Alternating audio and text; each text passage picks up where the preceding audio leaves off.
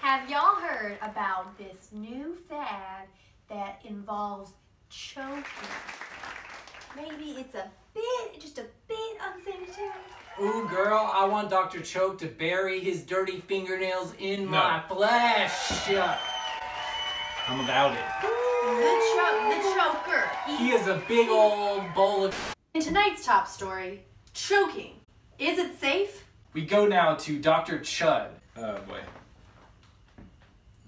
What can you tell us about this new phenomenon? It's not good. In other news, helicopter related deaths are reaching staggering new highs.